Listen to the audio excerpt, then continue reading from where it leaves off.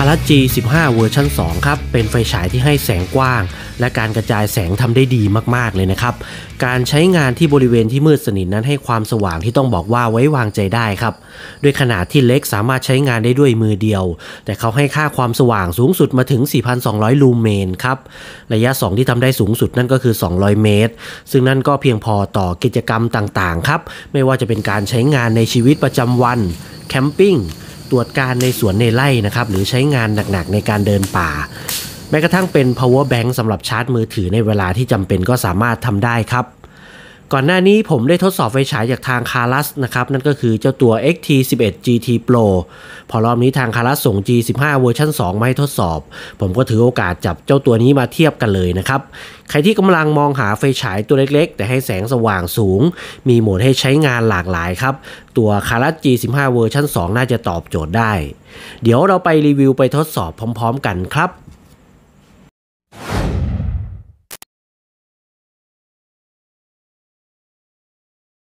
เรามาดูกล่องของเจ้าตัวคาร่า G15 เวอร์ชัน2 กันบ้างนะครับ กล่องของเขานั้นก็จะเป็นแบบกล่องแข็งสีขาวครับ ด้านหน้านั้นจะเป็นรูปไฟฉาย ซึ่งบอกค่าความสว่างสูงสุดที่ 4,200 ลูเมน ระยะส่องไกลสุดที่ 200 เมตร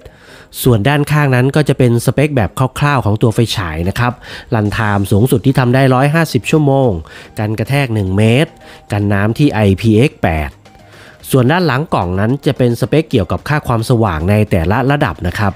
พอเปิดกล่องออกมาครับก็จะเจอตัว G15 เวอร์ชัน2 รูปร่างเขาก็ค่อนข้างที่จะดุดันอยู่เหมือนกันนะครับ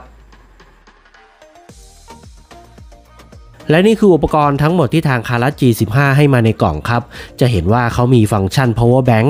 ทาง Klarus ก็เลยแถมหัวแปลงสำหรับชาร์จมือถือมาให้ด้วย รวมไปถึงท่อแปลงแบตเตอรี่ให้สามารถใช้งานแบตเตอรี่แบบ 18650 หรือ CR123A 2 ก้อนมาให้ด้วยนะครับคราวนี้มาดูตัว body ของเขาบ้างนะครับ ดูภาพรวมไปก่อน เดี๋ยวผมจะพาไปดูแบบละเอียดทีละส่วน ส่วนในเรื่องของการจับถือในมือนั้นนะครับ เป็นขนาดที่พอดีมือ ใช้งานมือเดียวได้สะดวก ผมทดสอบลองเทียบกับตัว XT11 GT Pro ครับ ก็พบว่าขนาดของเขานั้นเล็กกว่าพอสมควรเลยครับ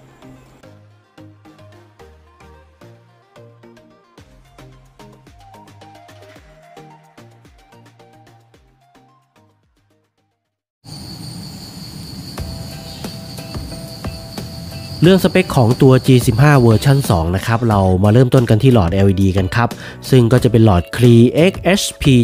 70.2 อยู่ในโคมแบบผิวส้ม ซึ่งก็ช่วยกระจายแสงได้ดีมากๆเลยนะครับ ทำความสว่างสูงสุดได้ที่ 4,200 ลูเมน แสงเป็นลักษณะกว้างครับ กระจายแสงได้สม่ำเสมอดีมากๆ สปิลกว้างนะครับบริเวณขอบขอบนั้นก็จะตัดขอบส่วนมืดส่วนสว่าง โดยการไล่ระดับเล็กน้อยครับ ไม่ได้แตกต่างกันแบบชัดเจน ระยะส่องไกลสุดที่ทำได้ก็คือ 200 เมตร ซึ่งเวลาซูมเข้าไปดูแล้วก็จะเห็นว่าเขาให้แสงที่ชัดเจนมากๆเลยนะครับสำหรับผมแล้วครับระยะ 50-100 เมตรนั้น ก็เห็นด้วยตาเปล่าแบบชัดเจนครับ ความเข้มแสงที่เขาทำได้ก็คือ 10,000 แคนเดล่าครับ ซึ่งก็น่าจะเกือบทั้งระยะของสปิลครับมาที่แบตเตอรี่กันบ้างนะครับ แบตเตอรี่ที่ให้มานั้นก็จะเป็นแบบ 21700 3.6 โวลต์โดยสามารถใช้แรปเตอร์แปลงให้สามารถใช้แบต 18650 หรือ CR123A จำนวน 2 ก้อนได้ครับ runtime นานสุดที่เขาทำได้ครับก็จะอยู่ที่ 150 ชั่วโมงในโหมด moon ที่ระดับความสว่าง 10 ลูเมน โดยการชาร์จแบตเตอรี่นั้นนะครับสามารถชาร์จผ่านพอร์ต Type C ที่คอไฟฉายได้ โดยจะมีไฟสถานะการชาร์จที่สวิตช์นะครับขณะชาร์จนั้นก็จะเป็นสีแดง ถ้าชาร์จเต็มแล้วก็จะเป็นสีเขียว และในเวลาใช้งานครับเมื่อกดสวิตช์ก็จะแสดงระดับแบตเตอรี่ ไฟเขียวก็คือแบต 70-100%ครับ ไฟเหลืองก็คือ 30-70%แล้วก็ไฟแดงนั้นก็คือแบตน้อยกว่า 30%หัวไฟฉายมีขนาด 27.4มิลลิเมตรนะครับ ส่วน body นั้นก็จะเล็กลงมานิดหนึ่งที่ 26มิลลิเมตรแล้วก็ความยาว หัวจรดท้ายจะอยู่ที่ 120.7มิลลิเมตรตัวเครื่องมีน้ำหนักที่ 76 กรัมนะครับ โดยที่ไม่ได้รวมแบตเตอรี่ ตัวเครื่องนั้นเขาสามารถทนแรงกระแทกจากการตกจากที่สูงได้ที่ 1 เมตรนะครับ โดยที่ไฟฉายนั้นยังสามารถทำงานได้ปกติ แล้วก็มาพร้อมกับการกันน้ำที่ IPX8 ครับ ใช้งานหนักๆ ลุยๆ ได้สบาย ซึ่งตามสเปคนั้นเขาแจ้งว่าสามารถลงน้ำได้ลึกถึง 2 เมตรนะครับ เสริมความมั่นใจด้วยการรับประกันจากผู้ผลิตที่ 5 ปี เดี๋ยวผมจะทำการไล่ระดับแสงให้ดูครับว่าตั้งแต่ระดับมูลไปจนถึงระดับเทอร์โบนั้น เขาจะทำได้ดีขนาดไหน เดี๋ยวเรามาดูการไล่ระดับแสงกันครับ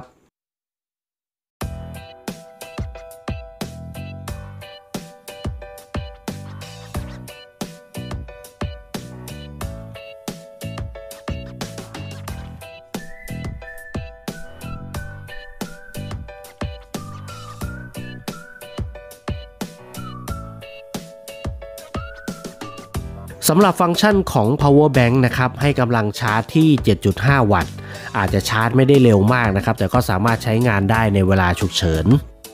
ตัว G15 เวอร์ชัน2ครับเขาจะมีคลิปเน็บที่มีความแข็งแรงมาก สามารถพกพากับกระเป๋ากางเกง หรือกระเป๋าสัมภาระได้นะครับ ผมลองเน็บกับกระเป๋าสะพายข้างก็สะดวกดีครับผมกดเพื่อเปิดครับ แล้วก็กดอีกครั้งเพื่อปิด การเปลี่ยนระดับแสงก็ทำได้โดยการกดค้างไว้นะครับ ในขณะที่แสงไฟติดอยู่ เขาจะวนไปเรื่อยๆครับ low medium high low medium high ส่วนการเรียกเทอร์โบนั้นก็ทำได้โดยการกด double click นะครับ ส่วนการกด triple click นะครับ ก็จะเป็นการเรียกโหมด strobe กด triple click ซ้ำอีกครั้งหนึ่งก็จะเป็นการกระพริบที่ช้าลงนะครับ แล้วก็กดกระพริบซ้ำอีกครั้งหนึ่งก็จะเป็นรหัส SOS นะครับ โดยจะวนไปเรื่อยๆสำหรับการกดทิปเปิลคลิกหรือการคลิกเร็วๆแบบ 3 ครั้งการล็อกสวิตช์ครับเราสามารถทำได้โดยการกดค้างไว้ที่ 5 วินาทีจนไฟกระพริบ 2 ครั้งนะครับ แล้วก็ไฟก็จะดับลงไป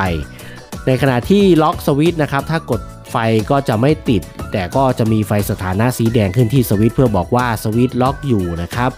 ส่วนการปลดล็อกนั้นก็ทำได้โดยการกด triple click ไฟจะกระพริบ 2 ครั้ง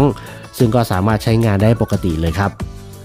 ส่วนการเปิดโหมด moon นะครับในขณะที่ไฟดับกดสวิตช์ค้างไว้นะครับ จนกระทั่งไฟติดก็จะได้แสงระดับ moon ที่ 10 ลูเมน ซึ่งระดับ moon นั้นก็จะสามารถเปิดใช้งานได้ถึง 150 ชั่วโมงครับ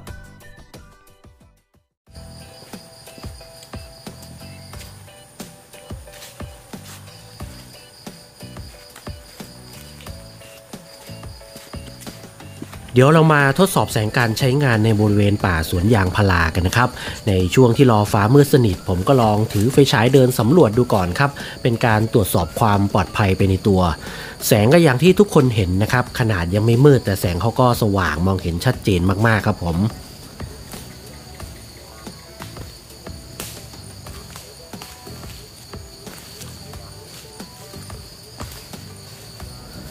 พอเริ่มมืดนะครับผมก็ลองเอาไปฉายไปยึดติดกับเก้าอี้นะครับส่องเข้าไปในสวนเพื่อให้ทุกคนเห็นลักษณะของแสง โดยที่ตัวของผมเองนั้นก็จะไม่ได้บังกล้องครับ ลองซูมดูในระยะที่ไกลออกไปหน่อยนะครับในระยะประมาณ 100 เมตรก็สบายๆครับลองถือไฟฉายเดินกันบ้างนะครับ ดูจากด้านหลังก็จะเห็นว่าตัว G15 นั้นมีสปิลที่ค่อนข้างกว้างเลยครับ ถือเดินในที่มืดๆรกๆนั้นน่าจะเหมาะ แล้วก็พอหันไฟฉายเข้าหากล้องครับ ก็จะเห็นแสงได้ชัดเจนขึ้นไปอีก คราวนี้มาเป็นการทดสอบแบบส่องไกลกันบ้างนะครับ ส่องถนนกลางสวนยางพารา แล้วก็มาซูมดูกันว่าแสงเข้าไปได้ถึงขนาดไหนนะครับ จากการที่ผมทดสอบไฟฉายหลาย ๆ รุ่นนะ สเปคระยะส่องที่เขาให้มานั้นเวลาใช้งานจริงนะครับ ในระยะหวังผลของเขาก็จะผมจะหาร 2 นะครับ ซึ่งตัว G15 นั้นเขาก็ให้สเปคมาที่ 200 เมตรนะครับ การใช้งานระยะหวังผลตามที่ผมสามารถมองเห็นและแยกแยะได้ก็น่าจะประมาณที่ 100 เมตรครับส่วนคนอื่นๆอาจจะมองเห็นไกลกว่านั้นนะครับ ผมสายตาสั้นแล้วก็ใส่แว่นก็น่าจะมีผลต่อการมองเห็นนิดหน่อย คราวนี้ผมจับเทียบกับเพื่อนร่วมค่ายอย่าง XT11 GT Pro กันบ้างนะครับ เราจะเห็นความสว่างของลักษณะแสงชัดเจนนะ จะเห็นความแตกต่าง ตัว G15 นั้นจะได้กว้างกว่าครับ ส่วนตัว XT11 GT Pro จะได้ระยะสองที่มากกว่า แล้วก็ในการใช้งานก็เลือกใช้งานให้เหมาะสมจะดีที่สุดครับ คราวนี้ผมจะส่องจุดที่เป็นบริเวณกว้างๆมานะครับ ให้ทุกคนเห็นว่าความกว้างของแสงชัดๆ นั้นเขาจะทำได้ดีขนาดไหน จะครอบคลุมพื้นที่ขนาดไหนครับ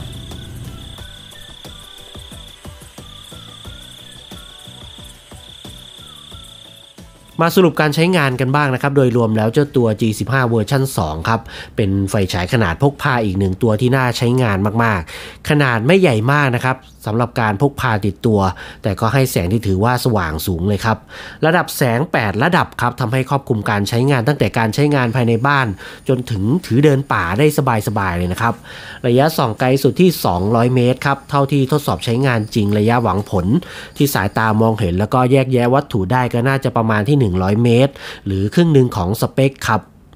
แต่ถ้าเราใช้วิธีการซูมเพื่อดูผลลัพธ์นะครับเขาก็สามารถทำได้ดี ฟังก์ชัน power bank นะครับชาร์จที่ 7.5 วัตต์ ซึ่งก็ไม่ใช่ฟาสชาร์จนะครับ แต่ก็มีไว้ใช้งานก็ปลอดภัยออุ่นใจในกรณีที่มันเป็นเหตุการณ์ฉุกเฉินนะครับขอบคุณทางคารัตครับที่สนับสนุนไฟฉายสำหรับการทดสอบและรีวิว ขอบคุณทุกคนที่เข้ามารับชมนะครับ ฝากกดติดตามเพื่อเป็นกำลังใจและจะได้ไม่พลาดรีวิวอุปกรณ์ไฟฉายโคมไฟ รวมไปถึงอุปกรณ์แคมปิ้งครับผม โอเคครับสำหรับวันนี้ก็สวัสดี เจอกันใหม่คลิปหน้าครับผม